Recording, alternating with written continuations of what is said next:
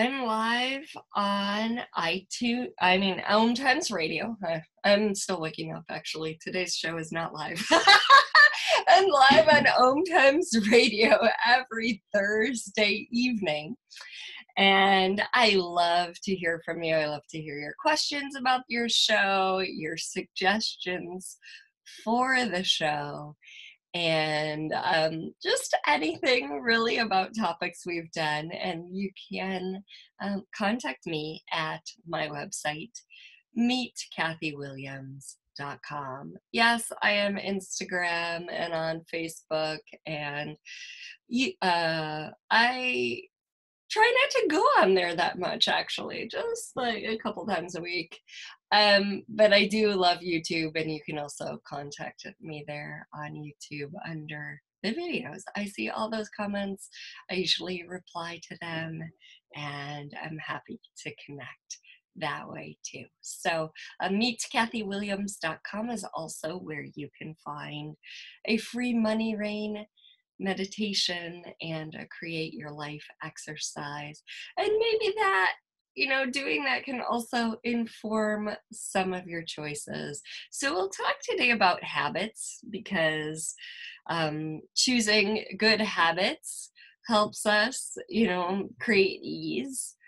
Um, a lot of times we think, oh, you know, habits aren't choices, and they actually are. So, we'll, we'll dive into habits and um, into some of the easier ways of making choices because i know like I, like i mentioned in the very beginning of the show my mom taught me and this was a great way for a kid but also sometimes confusing.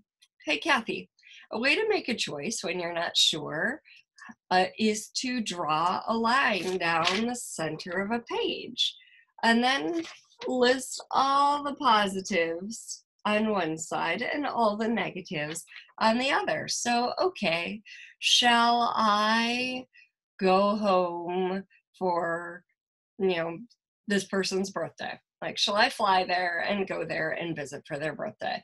Well, yes, I would love to see them. That goes on the positive. Um, I do have that time off work already. Another positive. You know, all the positives. And then well, I already have credit card debt. That goes on the negative side. Well, you know, it'd be kind of stressful to make it happen. That goes on the negative side. Whatever. I'm making up this scenario. And then you kind of look at the positives and the negatives and see, huh, what's going to be the, the more appropriate choice for me?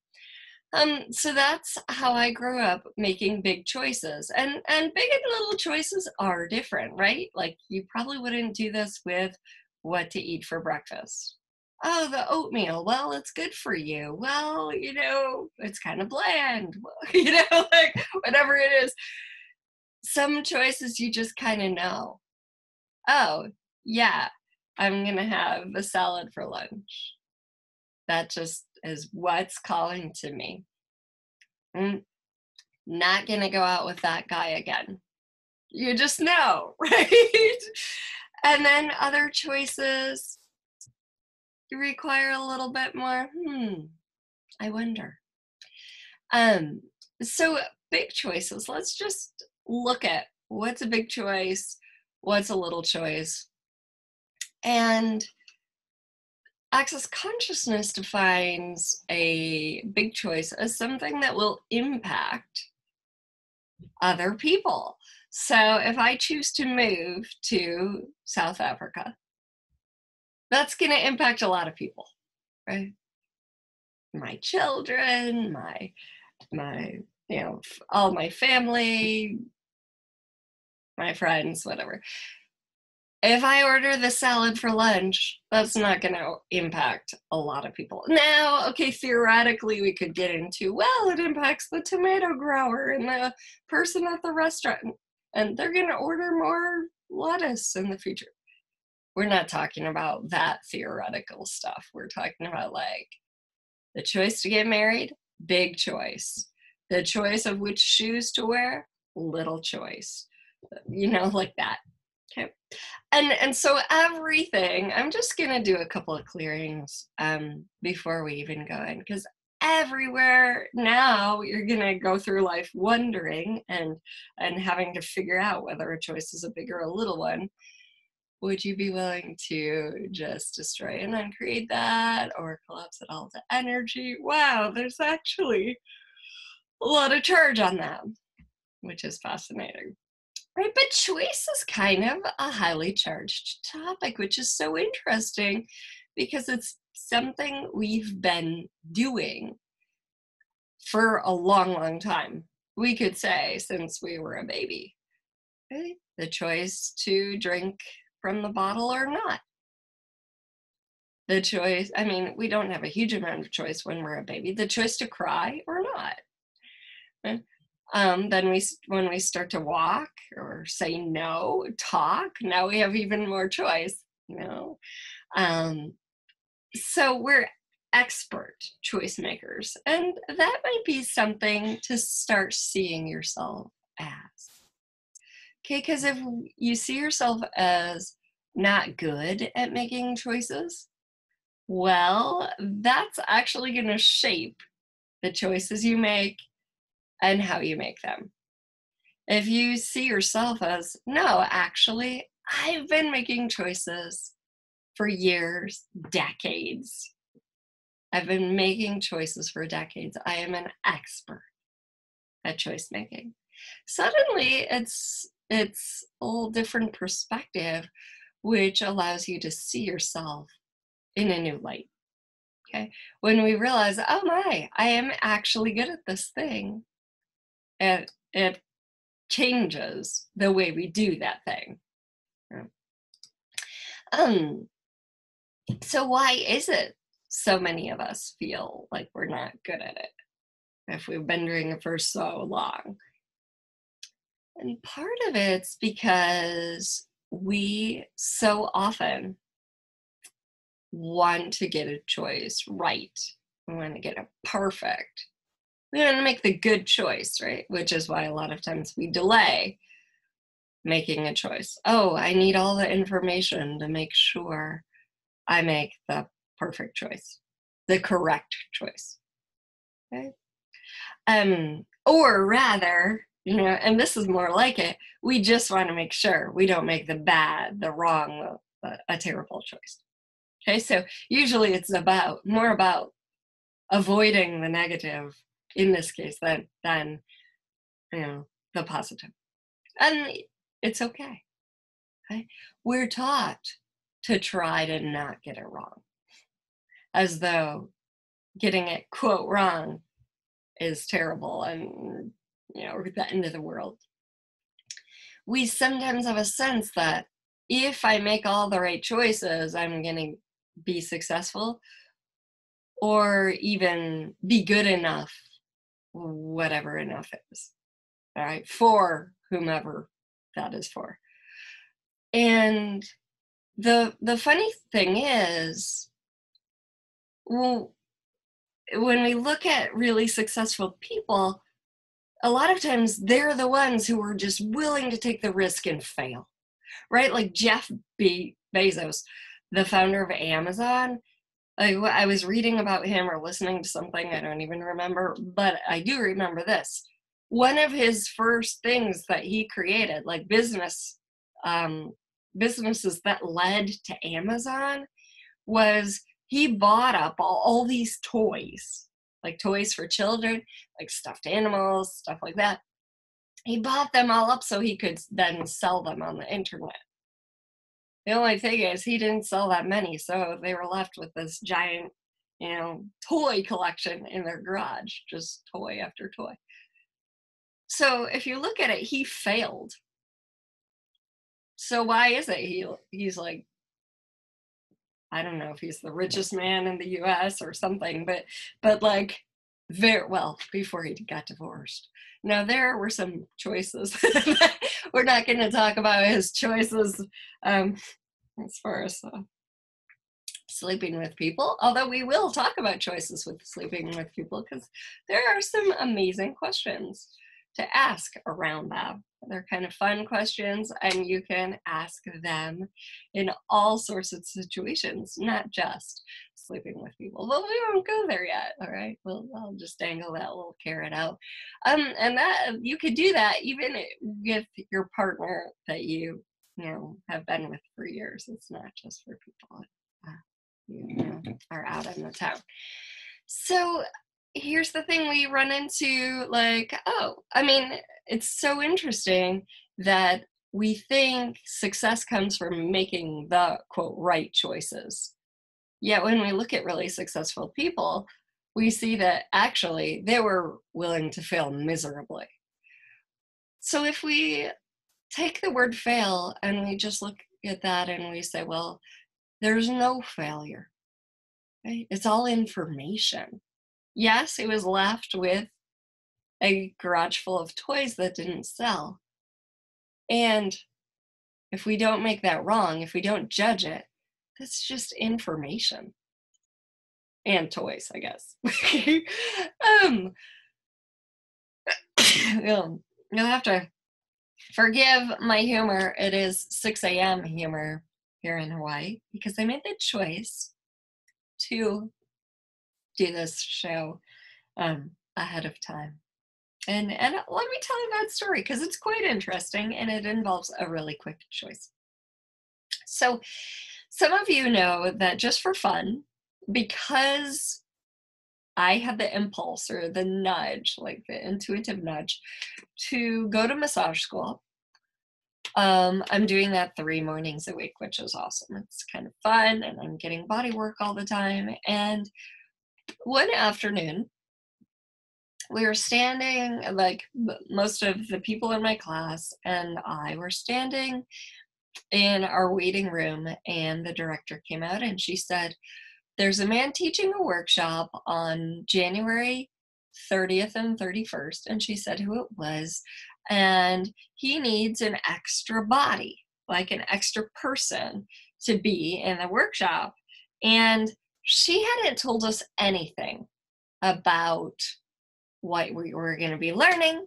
Like, what's the topic of the workshop? You know, is it reflexology? Is it like head and neck massage? Is it craniosacral therapy? Is it, it could have been one of thousands of things.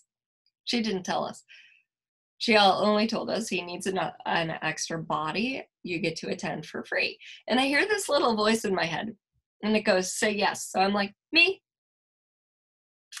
and then uh, uh, another girl said, I'll do it. And the director said, Well, Kathy said yes first.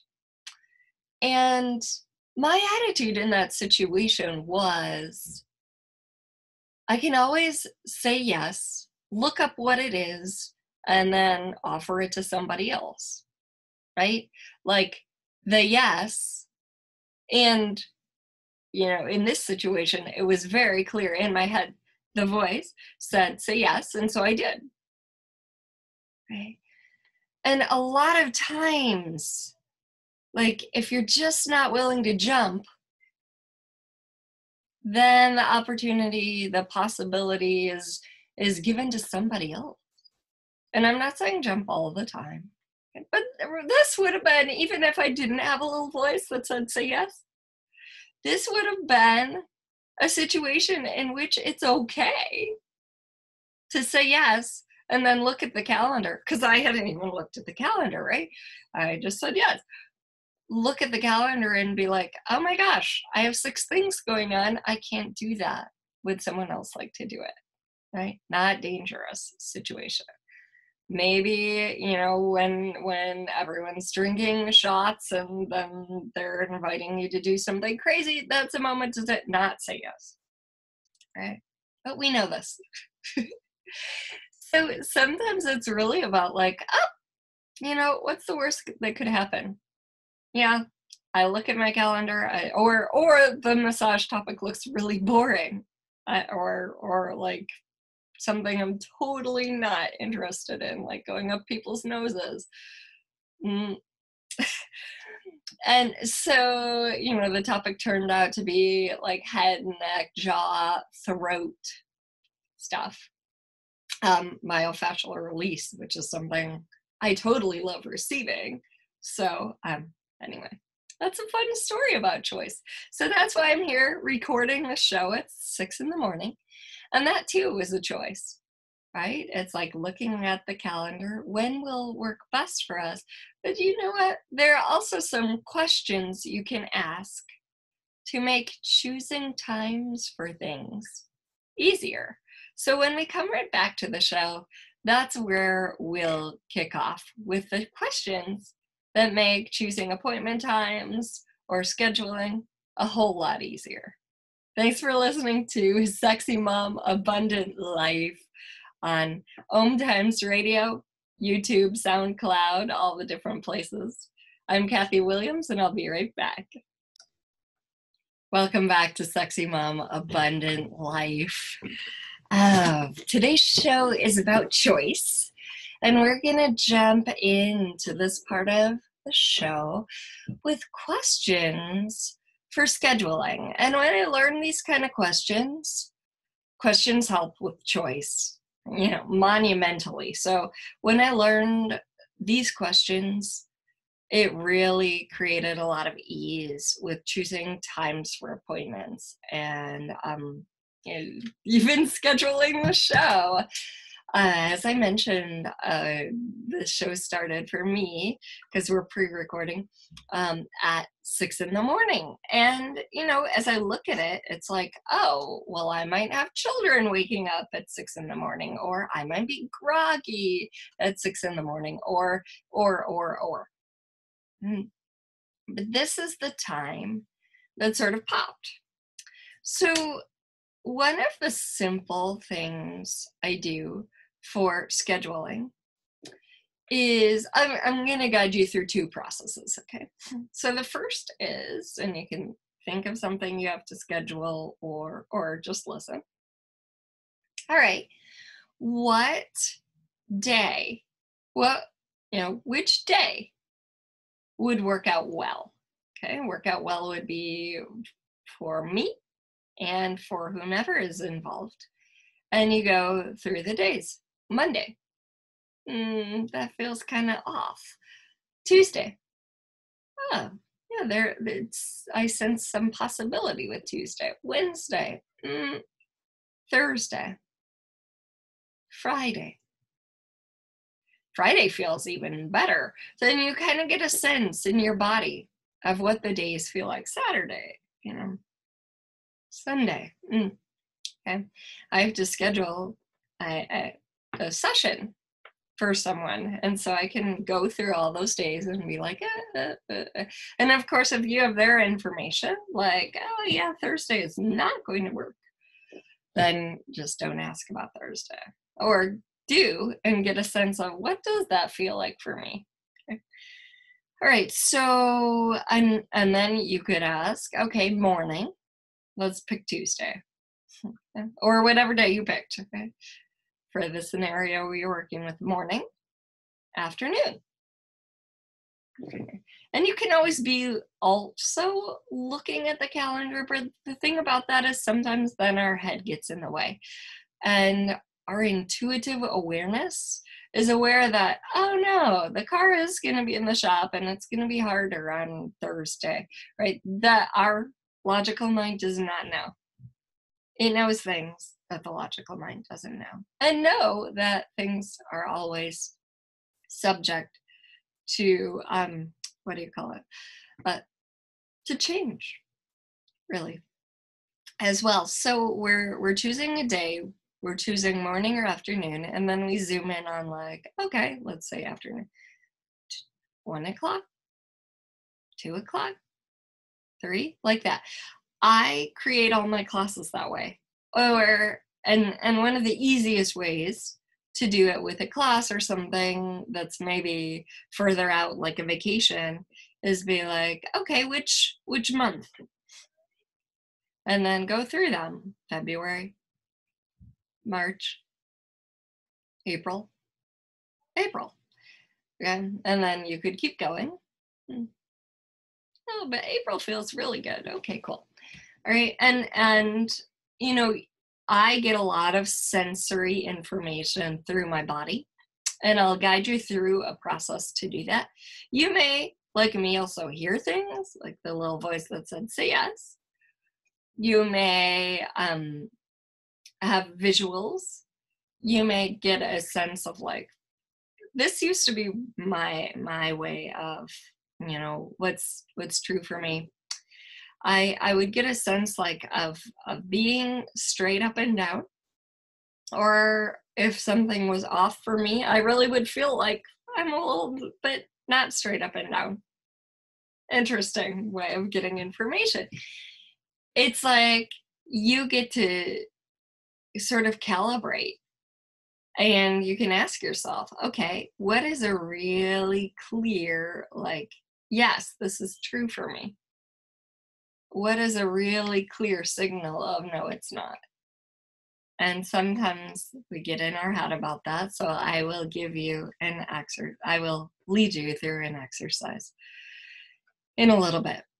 So uh, once i've chosen the month then i kind of take the calendar and look at it and be like, okay, so I've chosen April. Which day pops? And for me, it kind of is like popcorn or neon, and just like, oh, you know, the 12th or something like that. So that's a way of just tapping into your own awareness to choose dates and times. And of course, sometimes it involves collaboration with someone else. You know, you could even ask, if I choose this date, would that be easy? Would it flow well? Would it feel good to me? Would I be happier afterwards? Questions give us more information, and so does choice, really. So let's say, you know, I mentioned in the beginning of the show, like so many of us are attached to getting our choices right or not making the wrong choice. And each time we choose, it actually gives us more information. So let's say I choose, yeah, April 12th.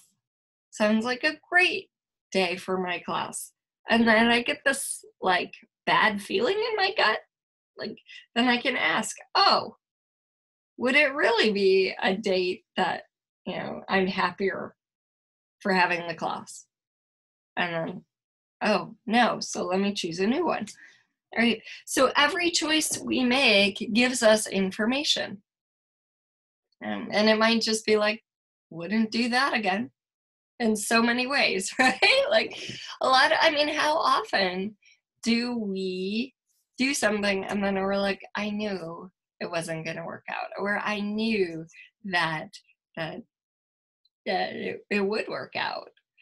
Um so when we choose it gives us information i keep saying this because i want you to really get that because then you have the freedom to change your mind and choose again so everywhere you've decided that you have no freedom and ability to change your mind or changing your mind means you're flaky or you're inconsistent or you're a bad person or anything like that. Well, you take all of that, all of that solidified energy and just collapse it back to free flowing energy.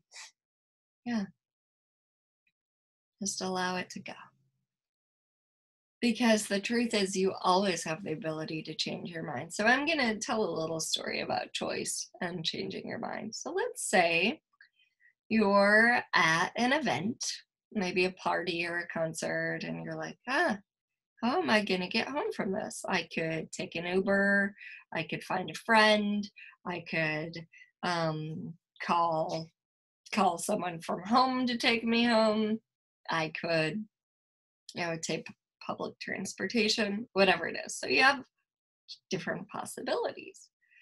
And someone says, Oh, I'll take you home. It's no problem for me. And you say yes. That's your choice. You say yes. And then immediately you get this feeling like, oh, wow, this uh, something feels off in your gut. Okay. So now's the time to ask more questions. What will it create if I go with this person? Now, you could have asked that if you know that question, you could have asked that before, but it's okay. You've just made the choice. Now you've got that uh, intensity in your belly. Like, ee, okay, it feels off. You know that, yeah, this doesn't feel right to me, right? So, and it might not be that this is a bad person. I'm not saying that. I'm just saying something feels off. We can't jump to that conclusion. Hmm? It may be they want to stay for the after party and you're ready to go three hours before they are. Could be that they are not a good person, right? It could be that they've had a f- few too many drinks, right? All we have right now is the bad feeling in our gut and the possibility of making a new choice. Okay? And so, what do you do? Do you choose a different choice? Or do you go with this person because you said you would? And you override your own awareness. The truth is, a lot of us have learned to override our awareness. We make a choice, we get information, and then we override that oh, they really are a good person. I shouldn't be nervous about this, right? We talk ourselves out of what we know, right? And that is one reason a lot of us think we don't make good choices because we have in the past so much evidence of, you know, times we've overridden our awareness or times things that we chose didn't work out the way we thought they should. And that's a really important phrase. We thought they should. Because a lot of times things are working to create magic in our lives and they don't go exactly as our little brain plans. So therefore, we think it didn't work out. Instead of my favorite question, well, one of them anyway, like, how can I use this to create something greater? because then everything becomes a stepping stone. Like, even, oh my, now what do I do? I have this bad feeling in my gut and I've already said yes. How can I use this to create something greater? Maybe it's that I get out of my comfort zone and I say, you know what, actually, it's going to be easier for me to take an Uber. All right, I'm kind of ready to go right now. So you know, I look forward to seeing you at the next event. Right? It's not about them. It's about us and our awareness and the choice that's going to create better for us, more for us, greater for us in the future. All right. So even this choice for me to record the show now, you know, I knew I might have kids around and usually one of them is still asleep, which is not the case today. this is the time that I I could do it and I knew it would create something greater. So that's what we choose. Now a lot of times we're so aware of other points of other people's points of view about what we should or shouldn't choose, right? Should in quotes. Um and, or their perspective or what they want us to choose. I mean, that's even why, as a lot of kids, and we want to please them, right? As kids, someone would be like, hey, I don't know if you had this experience, I totally did. Would you like Mexican or Chinese? I don't care. I don't care relieves us from the burden of having having to make that choice and then be judged if it's not, you know, what the other person wanted, or to offend them or make them upset or whatever it is. Ever do that? Oh, where would you like to go? I don't care. Anything's fine, right? Even if we really feel like having some dim sum, you know, uh, um, I'm really hankering for a stir fry, but I don't want to say because um, they might want Mexican instead. Okay. Now, um, we never only have two options. Well, never is a strong word, but so often we think we have either this or that, when really we can have both. So if I would really like to have Chinese food and the other person would like Mexican, we could be like, oh, let's just carry it out and eat it at the park at a picnic table. Or let's order it delivered from both places and then we'll sit here on the couch and, and we'll play a board game or whatever it is. You know, like we think we have yes or no, either or. What if we have and? So, in the last part of the show, well, yeah, in the last part of the show, I'm going to lead you through an exercise to help you have to tap in to your awareness with choice. You know, I keep talking about body sensations and stuff like that. Um, and I'll guide you through an exercise so that it's a lot easier to to get a sense of like what's what is that and before we go to break let's just do uh, the questions to ask before sleeping with someone so i use these not only with that i learned them for that through access consciousness but um, they're so useful before you begin any business venture. And, and not all of them are as applicable for each business venture or endeavor with another person, yet they're all useful for getting information. So, the first one will it be easy? I'd rather work with someone who makes it easy. I'd rather sleep with someone who, who it's easy with than someone I have to like feel like I'm moving a ton of bricks in so many ways, right? Like, will it be easy? Now, that doesn't necessarily mean my accountant has to, you know, have a huge yes to this answer. Um, if I, you know, for me to choose them, but will it be easy? Will it be fun? Okay. Similarly, I would kind of like an accountant who's who's easy. It doesn't necessarily have to be fun, although it'd be amazing, right? If if my accountant is fun, but the the, the more important, well, for sex, yeah, will it be fun, right? okay, will I learn something? Again, more relevant in certain situations than others. Now this one, super important one. Number four, Will it be easy? Will it be fun? Will I learn something? Number four, will I be happier afterwards? Okay, I want an accountant who's uh, who I'm going to be happy about afterwards. Uh, you know, a lover who I'm going to be happier afterwards. Um, whatever business venture, I would like to be happier afterwards. Okay, and then there's the question: Will it make me money? Will it bring, will it add a generative energy of life, of living, of joy to my life? Right? So, those four questions, five questions, you can look at and be like, okay, which questions are more relevant to this exact situation? Yet they can all be super helpful when you're navigating your way through interpersonal relationships and business relationships. All right, Thank you so much for listening to Sexy Mom Abundant Life. When we come back, I'm going to lead you through a little exercise. And you can visit my website, meetkathywilliams.com, for links to show replays. And I have one about awareness that you may like in relation to choice.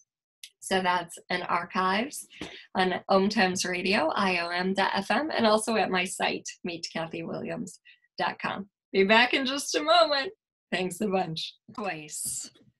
Oh, there are so many choices we make. I mean, our lives are inundated with choice, especially now. You know, even just walking down the aisles of detergent or yogurt at the grocery store, we have choice. And like we talked about, some choices are big, some are little, yet all um, can be made by us tapping into our own awareness. And like I mentioned just a moment ago, I have a whole show on awareness. I think it was done uh, spring of 2019. So you can look in the archives at iom.fm or even on iTunes. You know, you just type in sexy mom, abundant life, awareness, and then it'll, I I believe that's how it works. I've searched that way before and not myself and my show, but you know, and it just pops up. Or just search the internet and and um iHeartRadio will bring it to you or something like that. Um so my kids you cannot hear them in the background because they are very loud this morning, which is not usually the case. And I'm going to lead you through a little exercise. so, um, you know, uh, you can use this exercise very quickly when you're trying to choose your next Audible book or book on Amazon or, you know, whatever it is in the grocery store or even choosing where to go on vacation. Um, so most of us are so aware of other people's points of view but, um, and want to help them and choose what's right for them. So one of the useful things I've found is just to kind of like create space with my hands, like I'm pushing their points of view away, like back off. And I actually sometimes, when I'm really trying to get clear, and not, I do that, like back off. And that's for anything energetically that's creating interference for me. Just back off. Okay, so that I kind of have my little spacious bubble to be aware of what's really true for me. Okay. And then we kind of take a couple of deep breaths. And then tap into the chest area, the heart. Not so much the physical heart, the energetic heart of our body. And often I just ask for three words that sort of like describe my experience if I choose something. So let's say you have a choice you'd like to make. Okay, if I choose this, what are three words that ex- that describe what that will create?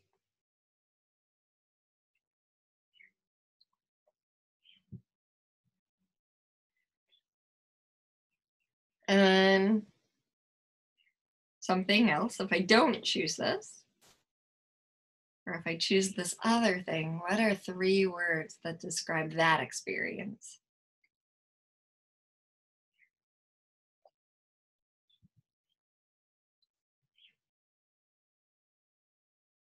You might have five words, you might get one word, you may just have a sensation. So often that's a really useful sort of inner navigational tool. And then we also have light and heavy. So think of a choice that you get to make and ask and tap into your chest area. How is my life in five years if I choose this? And then name that possibility.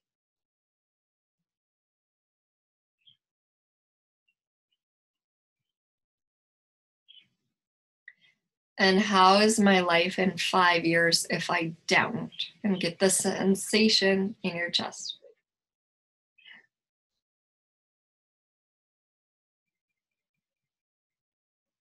Okay. And those two questions can help you differentiate. One sensation is usually much more expansive, ease filled. One sensation is usually a little clunkier, um, more contracted. So the one that's ease filled and more expansive, we term light. And the one that's sort of contractive, I mean, you could call it contractive, you could also call it heavy. Hmm. So you learn to differentiate these and then it becomes really quick you could be walking through a buffet line and just be like oh oh that one's light this one's heavy that one's heavy this one's light like that it, it becomes fast the more you tune in.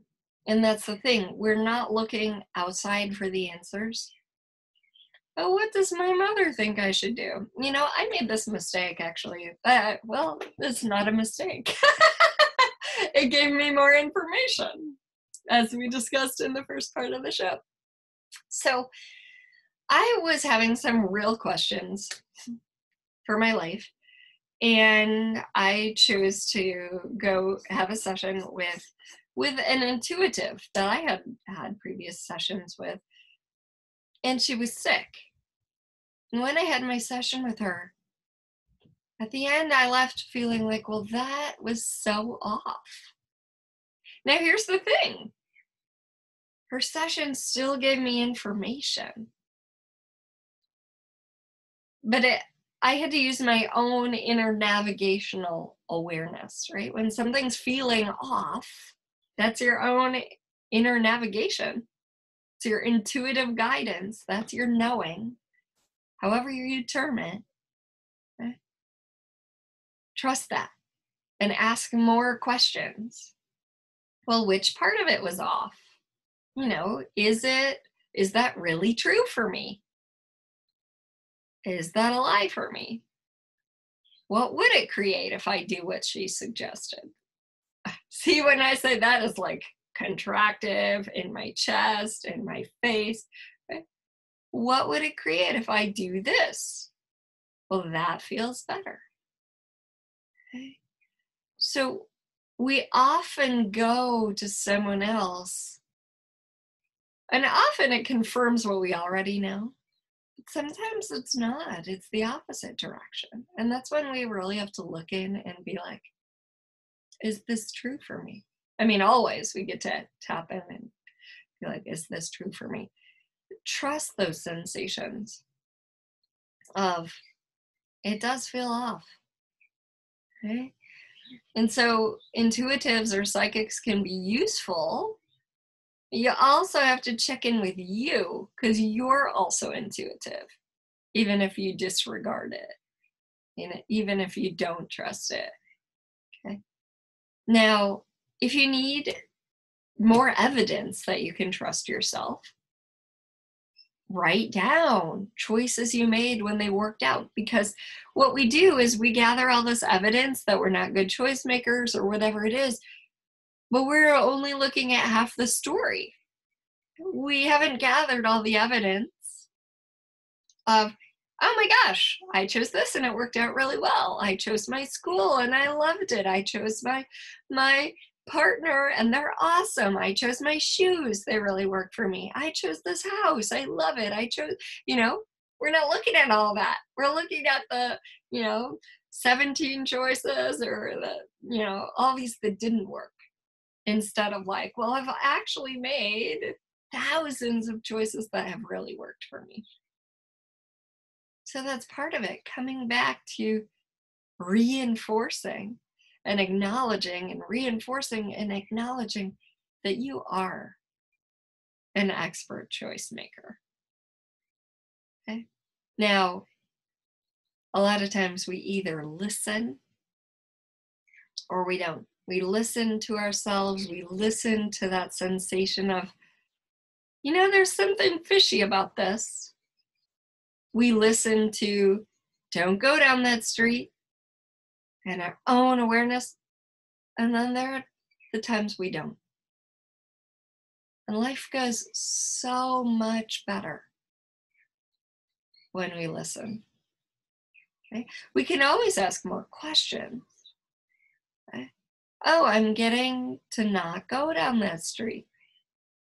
Uh, you know, what would it create if I did? my old body freezes and gets tense. Oh, is it safe on that street? Sense of no, whatever it is. Right? I mean, you could look at all the choices you've made to to go to the party or arrange the appointment or or buy the car or whatever it is that have really worked for you. So if you feel like I'm not a good choice maker, I don't make good choices, you know, start to list out. I'm a huge fan of journaling because it helps us you know, first it makes it gets us that kinesthetic body awareness. Second, it it allows whatever's inside to kind of come out onto the page. And third, it, it allows us to really see it. Right? So many benefits. And then you can come back to it. Oh yeah, I have made really good choices. um, and checking in with people with other people is not a wrong thing it's just like is it diluting my own awareness like am i more likely to follow their awareness than mine you're the expert in what works for you no one else knows as well as you what would work for you right now they can give pieces of the puzzle, they can inform. Hmm. And also, uh, and, you know, would you be willing to make a choice and then tap into your awareness of, ah, yeah, that, that choice really does feel good. I've just made it feels good. Or there's something off about this choice, and I can always choose again. If you need to write yourself a big permission slip, big permission slip. I have permission to change my mind as I get more information. And guess what? As soon as you make that choice, you have more information. Failure is not a problem because there's no such thing as failure, it's only feedback. That gives you the space to make a choice, to get more information, to change it, and when you were a kid, you knew that. You had that. Okay? Right. If if you chose to go over and play in the sandbox and all of a sudden you're like, ick, what is this stuff on my hands? I don't like it. You got out of the sandbox and made a different choice.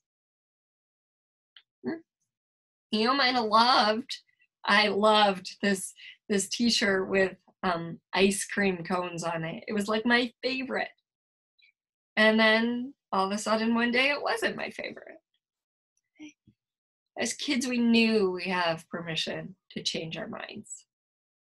And it's really important to allow, allow ourselves that now as well, because it gives us that adaptability.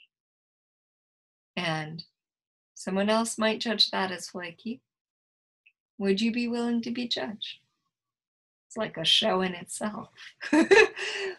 Would you be willing to have them see your choices as imperfect? As long as they're working for you, right? As long as the choices, not the people, the choices, maybe the people, are working for you, If they're okay. I've gone out to lunch and had chocolate cake and that's it. While everyone has their salads and their chickens and stuff like that. that was the most amazing trip. My body felt great having that chocolate cake. Now was I judged? Maybe. Uh, I'm sure I know actually that some people judged that as, "Oh wow, I wish I could do that." And guess what? They can. It's a choice. Thanks so much for listening to Sexy Mom Abundant Life. I'll be back next Thursday, 5 p.m. Eastern and noon Hawaii, where I am. You can always join me for a Hawaii retreat, your own customized one, or uh, a group retreat by visiting meetkathywilliams.com. And I have classes online and you can be anywhere in the world in your pajamas. So check them out at my website where you can also get a free create your life exercise. Thanks for listening, everyone. Aloha. Have a great week. And find us, if you can't wait that long, on SoundCloud, iTunes, IOM. Thank you. You too. Yeah, that would be nice, or at least some coffee.